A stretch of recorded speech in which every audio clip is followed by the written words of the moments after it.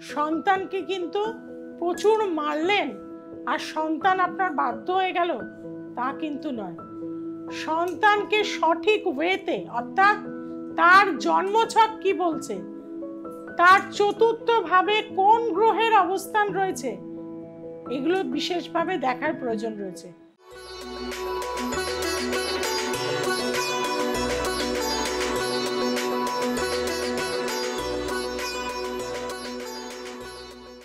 অনেক ক্ষেত্রেই দেখবেন অনেক বাচ্চাকে বাবা মাকে কিচ্ছু বলতে হয় না। কালকেই আমার কাছে একটি বাচ্চা দেখাতে এসেছিল। বাচ্চাটি আসেনি, তার বাবা মা এসেছিল। আমি বললাম, এই বাচ্চার তো ছক আমাকে দেখানোর দরকার নেই। ছকটা যথেষ্ট ভালো। মা তখন হেসে বলল হ্যাঁ একদমই ঠিক বলেছেন। আমার ছেলেকে ছোটবেলা থেকে আজ অবধি পড়া, পড়তে বসো বলতে হয়নি। কারণ হরোস্কোপ আপনাকে বলে দেবে। আপনার বাচ্চার টেন্ডেন্সি কি রয়েছে? কোন দিকে ইচ্ছা আগ্রহ আছে? বাচ্চাটি কিন্তু বিটেক করছে আইআইটিতে কাজেই জন্ম ছকের অবস্থান কিন্তু আমাদের জানিয়ে দেয় যে বাচ্চার কোন দিকে যাওয়ার টেন্ডেন্সি রয়েছে।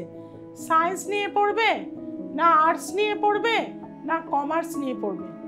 আমি আমার জীবনের দীর্ঘ বাইশ বছরের বেশি অভিজ্ঞতায় দেখেছি, আমি যে ফর্মুলাতে প্র্যাকটিস করেছি বা যেভাবে আমি মানুষকে গাইডলাইন করেছি, সেটা কিন্তু নাইনটি নাইন পার্সেন্ট মেলে।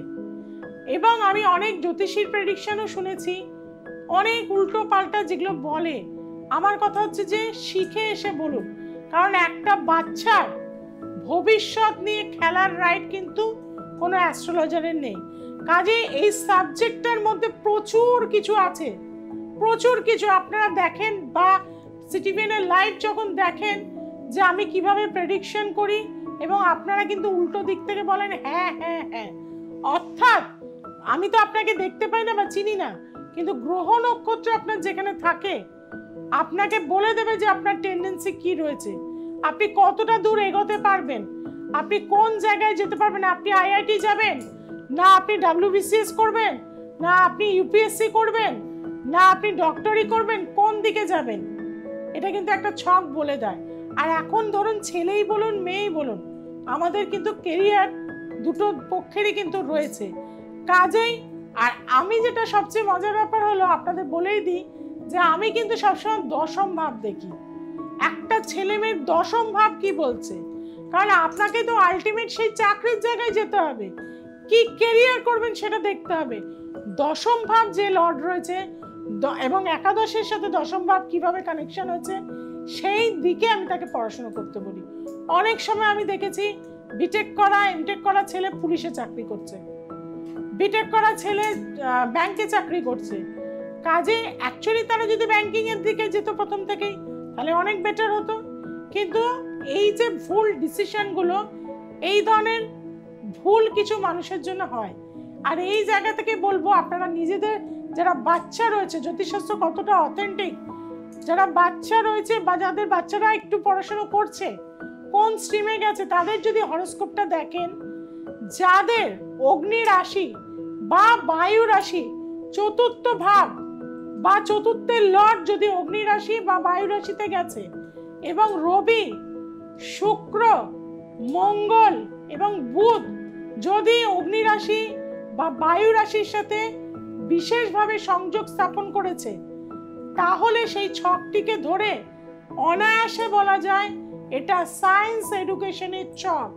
আবার অনেক ক্ষেত্রেই বলব যে চতুর্থ ভাবে যদি রাহু থাকে, রাহু যদি শুক্রের স্টারে থাকে, রাহু যদি রবি স্টারে থাকে, রাহু যদি শনি স্টারে থাকে, তাহলেও কিন্তু সেটা মানে কোনো টেকনিক্যাল ইনফরমেশন টেকনোলজি সায়েন্স নিয়ে পড়বে টুয়েলভ অবধি, তারপরে আইটি এই ধরনের দিকে কিন্তু তারা চলে যায়।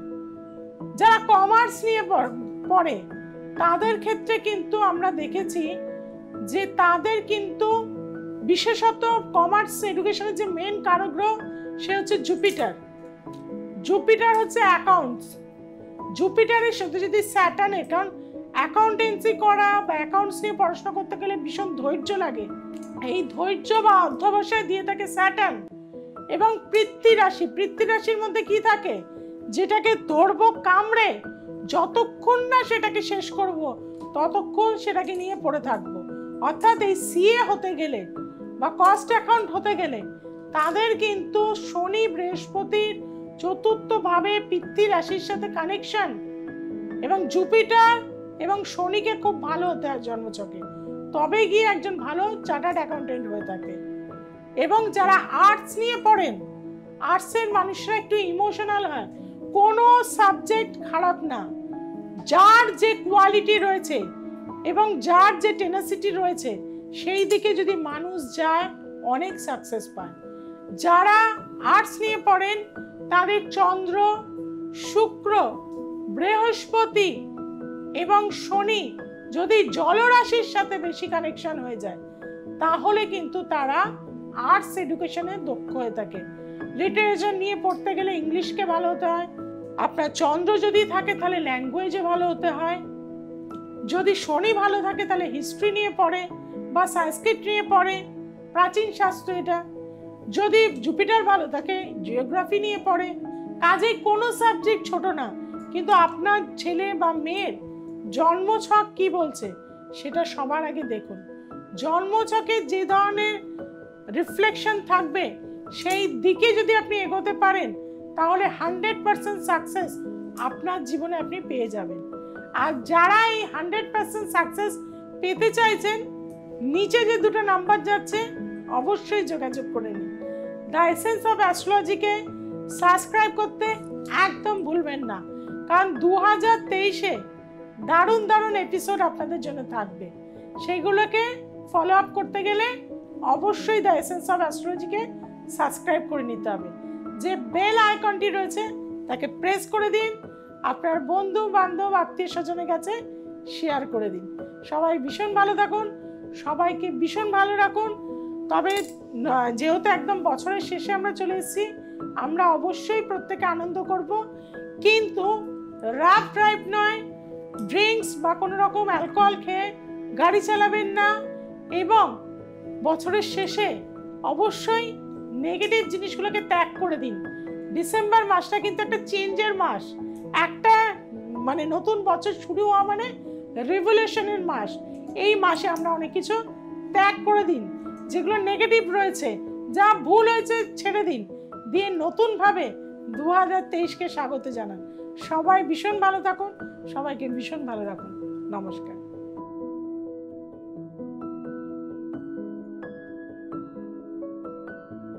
আমি রাজীব চ্যাটার্জি, বসিরহাট থেকে আসছি। আমি পেশায় একজন গৃহশিক্ষক গত বছর দুয়েক আগে আমার ফ্যামিলিতে এমন কিছু পরিস্থিতি সৃষ্টি হয়েছিল, নিজেকে খুব অসহায় মনে করতাম। বাস্তুর ভীষণ সমস্যা দেখা দিয়েছিল এবং ভৌতিক উপদ্রব শুরু হয়েছিল আমার বাড়িতে এবং আমার পরিবারে। এবং তার জন্য সব থেকে বেশি ক্ষতিগ্রস্ত হয়েছিল আমার একমাত্র সন্তান। এবং তাকে বাঁচানোর জন্য আমি শ্রীমতী বৈশালী সরকারের কাছে ছুটে এসেছিলাম। উনি আমাদের আশ্বস্ত করেছিলেন এবং আমাদের নির্ভর করে মানে মানে সাহস জুগিয়েছিলেন পরিস্থিতির সঙ্গে লড়াই করার জন্য। ওনার অনুপ্রেরণায় ওনার সহযোগিতায় আজ আমরা সেই পরিস্থিতি অনেক কাটিয়ে উঠেছি এবং আমার ছেলেকেও সমস্ত বিপদ থেকে মুক্ত করে আজকে একটা সুস্থ জীবন দিতে পেরেছি। একমাত্র বৈশালী সরকারের সহযোগিতায় ওনার হাত যশে বলতে পারে এবং আমরা ওনার কাছে সেই জন্য চিরকৃতজ্ঞ। এবং আমি সবাইকে বলব ওনার কাছে আসুন, আমাদের সমস্ত বিপদ থেকে উনি নিশ্চয়ই আপনাকে উদ্ধার করবেন। আমার নাম অরিনা রায় মণ্ডল, আমি কোচবিহার থেকে এসেছি। আমার অনেক আত্মীয় স্বজন যারা কোচবিহারে থাকেন, তারা এসছেন ম্যামের সঙ্গে আলোচনা করেছেন। তাদের প্রচুর সমস্যা সমাধান হয়েছে এবং তাদের মতো আমারও এবার এক বিশাল সমস্যা সমাধান, সেটা হচ্ছে আমার এবারই ব্যাংকিং সার্ভিসে আমি সিলেক্ট হয়েছি। আপনাদের যদি সমস্যা থাকে, আপনারা নিশ্চয়ই ম্যামের সঙ্গে যোগাযোগ করুন। তার পরামর্শে আপনাদের অভীষ্ট লক্ষ্যে আপনারা নিশ্চয়ই পৌঁছতে পারবেন। ধন্যবাদ।